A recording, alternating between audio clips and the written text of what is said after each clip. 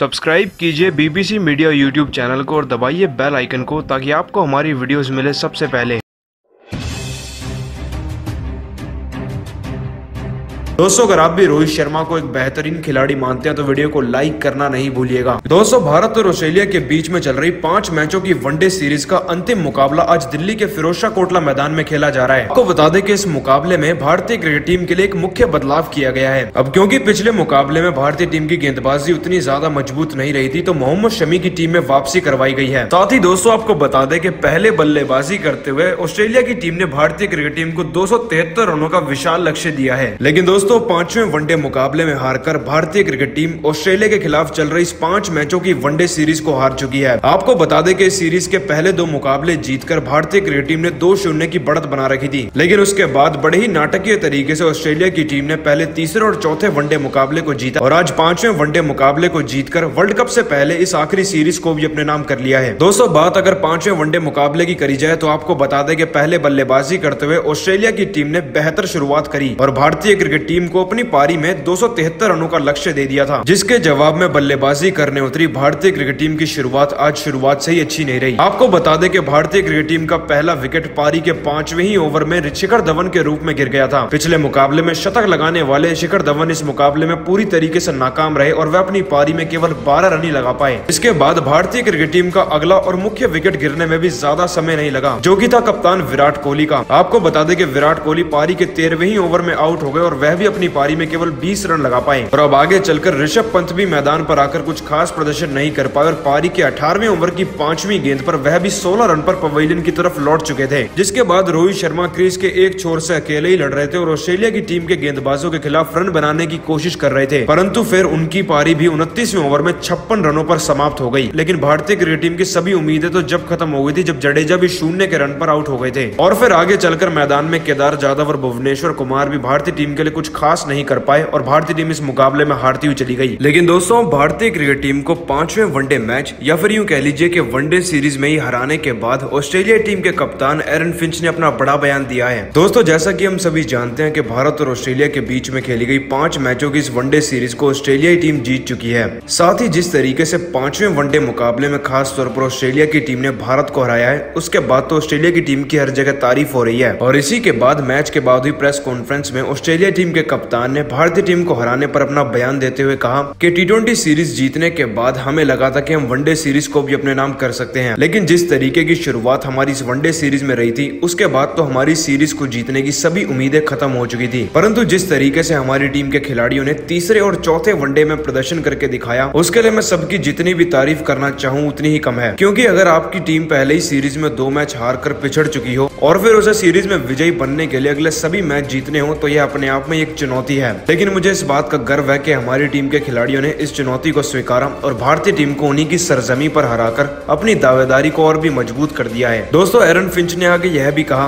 कि यकीनन चौथा और पाँचवें वनडे मुकाबला हमारी टीम के लिए बेहद ही खास रहा, क्योंकि चौथे वनडे मुकाबले में जहाँ एन मौके पर हमारी टीम के ऑलराउंडर खिलाड़ी टर्नर ने धाकड़ बल्लेबाजी करी तो वहीं पाँचवें वनडे मुकाबले में भी हमारी टीम के खिलाड़ियों ने अच्छी गेंदबाजी का प्रदर्शन किया। साथ ही मुझे इस बात की खुशी है की चौथे और पाँचवें वनडे मुकाबले में खास तौर पर महेंद्र सिंह धोनी भारतीय टीम का हिस्सा नहीं थे, क्योंकि जैसा की हम सभी जानते हैं की भारतीय क्रिकेट टीम को हाई प्रेशर के मुकाबले में विजयी बनाने वाले धोनी किसी भी मुकाबले को पलटने का दम रखते हैं। ऐसे में उनका भारतीय टीम में ना होना हमारे लिए कहीं ना कहीं बड़े फ़ायदे की बात रही। हम कोशिश करेंगे कि अपने इस प्रदर्शन को जारी रखें और वर्ल्ड कप में भी इसी तरीके का प्रदर्शन दे सकें। बहरहाल, मेरी नज़रों में भारतीय क्रिकेट टीम आज भी विश्व की सबसे मज़बूत टीमों में से एक है। दोस्तों, अपने इस बयान में एरन फिंच ने जहाँ एक तरफ़ अपनी टीम के खिलाड़ियों की तारीफ़ करी तो वहीं दूसरी तरफ़ उन्होंने यह भी बताया कि धोनी का टीम में ना होना उनके लिए कितना सफल साबित हुआ है। लेकिन आप सभी को क्या लगता है, क्या महेंद्र सिंह धोनी के टीम में ना होने की वजह से ही भारतीय टीम इस सीरीज़ में हारी है या फिर नहीं? इस बात का जवाब कमेंट सेक्शन में ज़रूर दीजिएगा। साथ ही दोस्तों, पाँचवें वनडे मुकाबले में भारतीय टीम की हार के बाद अब खुद भारतीय टीम के कप्तान विराट कोहली ने अपना बड़ा बयान दिया है। आपको बता दें कि भारतीय क्रिकेट टीम पाँचवें वनडे मुकाबले में हार कर इस सीरीज़ से भी हाथ धो चुकी है। और जिस नाटकीय तरीके से भारतीय टीम को इस सीरीज़ में हार का सामना करना पड़ा है, उसी के बारे में बातचीत करते हुए विराट कोहली ने पाँचवें वनडे मैच के बाद हुई पोस्ट मैच प्रेजेंटेशन में कहा कि अपनी सरजमी पर टी सीरीज़ के बाद ऑस्ट्रेलिया जैसी टीम से वनडे सीरीज़ में हारना हमारे लिए बेहद ही शर्मनाक बात है। वर्ल्ड कप के लिहाज से यह सीरीज़ सीरीज़ हमारी टीम के लिए काफ़ी ज़्यादा महत्वपूर्ण थी। साथ ही इससे यह भी पता चलता है कि हमारी टीम को भी प्रैक्टिस करने की कड़ी ज़रूरत है, क्योंकि वर्ल्ड कप काफ़ी ज़्यादा पास है और इस सीरीज़ में हारने के बाद हमें हमारी गलतियों का पता चल चुका है। साथ ही मैं तारीफ़ करना चाहता हूँ ऑस्ट्रेलिया की टीम के खिलाड़ियों की, क्योंकि जिस तरीके से उन्होंने तीसरे वनडे या फिर उसके बाद सीरीज़ में प्रदर्शन करके दिखाया, वह वाकई में काबिल तारीफ़ है। भले ही चौथे वनडे मुकाबले में हमारी टीम की बल्लेबाजी बेहतरीन थी, लेकिन उस मुकाबले को जीतकर आज पाँचवें वनडे मुकाबले को जिस तरीके से ऑस्ट्रेलिया की टीम जीती, उससे पता चलता है कि वह इस सीरीज़ को जीतने वाली ट्रॉफी की पूरी तरीके से हकदार है। हम कोशिश करेंगे कि वर्ल्ड कप से पहले अपनी गलतियों को अच्छे से सुधार सकें। दोस्तों, जब इसके बाद रिपोर्टर ने विराट कोहली से यह पूछा कि आपकी नज़रों में वह कौन से मुख्य कारण रहे जिनकी वजह से भारतीय टीम हारी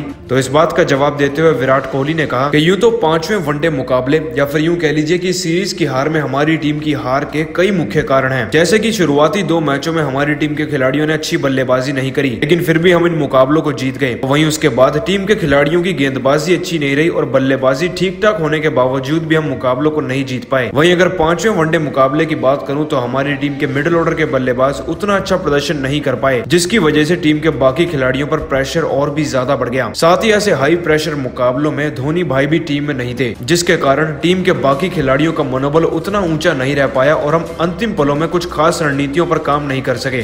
बहरहाल, बात चाहे जो भी हो, हमारी कोशिश रहेगी कि हम वर्ल्ड कप से पहले एकजुट होकर इन गलतियों पर काम करके अपने प्रदर्शन को सुधारे। दोस्तों, अपने इस बयान में विराट कोहली ने भारतीय क्रिकेट टीम की उन चुनिंदा गलतियों को बताया, जिनके कारण भारतीय टीम इस सीरीज़ और पाँचवें वनडे मुकाबले में हारी है। साथ ही कोहली ने इस बात का भी ज़िक्र किया कि धोनी की भारतीय क्रिकेट टीम में प्रेजेंस कितनी ज़्यादा इंपॉर्टेंट है। लेकिन आप सभी को क्या लगता है, क्या महेंद्र सिंह धोनी के टीम में न होने की वजह से ही भारतीय टीम इस वनडे सीरीज़ में हारी? तो इस बात का जवाब कमेंट सेक्शन में ज़रूर दीजिएगा। लेकिन इस वीडियो में हम आपको उन पाँच मुख्य कारणों के बारे में बताने वाले हैं, जिनके चलते भारतीय टीम को इस मुकाबले में हार का सामना करना पड़ा है। सबसे पहला कारण रहा भारतीय क्रिकेट टीम के गेंदबाजों की खराब गेंदबाजी और ज़्यादा अतिरिक्त रन देना। दोस्तों, आपको बता दें कि आज अकेले कुलदीप यादव ने जहाँ चौहत्तर रन दिए तो वहीं मोहम्मद शमी ने भी अपने ओवर्स में अट्ठावन रन दे डाले। साथ ही भारतीय क्रिकेट टीम के गेंदबाजों ने इतने रन तो दिए ही और उन्हें शुरुआती ओवर्स में ऑस्ट्रेलिया की टीम के बड़े विकेट भी न मिल सके, जिसका फ़ायदा ऑस्ट्रेलिया क्रिकेट टीम ने उठाया और वह बड़ी तेज़ी से अपनी टीम के स्कोर को आगे बढ़ाते हुए लेकर चले गए। दूसरा बड़ा कारण रहा भारतीय क्रिकेट टीम के खिलाड़ियों की मिसफील्डिंग दोस्तों, चौथे वनडे मुकाबले की तरह आज भी भारतीय क्रिकेट टीम के खिलाड़ियों ने कई बार मिसफील्डिंग करी। इसकी वजह से न सिर्फ़ ऑस्ट्रेलिया की टीम के खिलाड़ियों को अतिरिक्त बने, बल्कि इससे भारतीय क्रिकेट टीम के खिलाड़ियों पर ही प्रेशर बनता हुआ चला गया। और इसी प्रेशर का फ़ायदा उठाते हुए ऑस्ट्रेलिया की टीम के बल्लेबाजों ने अपने स्कोर को दो सौ तिहत्तर रनों के पहाड़ तक पहुँचा दिया। दोस्तों, भारतीय टीम की हार में तीसरा और मुख्य कारण रहा भारतीय टीम की बल्लेबाजी में नाकाम शुरुआत। दोस्तों, चौथे वनडे मुकाबले में भारतीय क्रिकेट टीम की तरफ़ से सलामी जोड़ी रोहित शर्मा व शिखर धवन ने टीम को एक शानदार शुरुआत दिलाई थी। लेकिन आज ऐसा नहीं हो पाया और शिखर धवन केवल